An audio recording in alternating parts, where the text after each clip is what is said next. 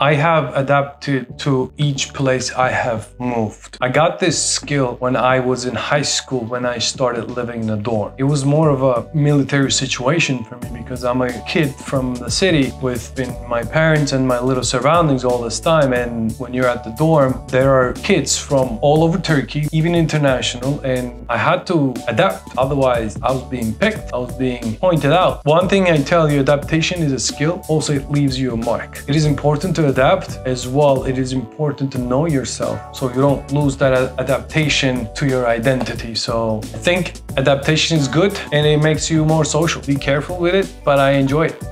Yeah.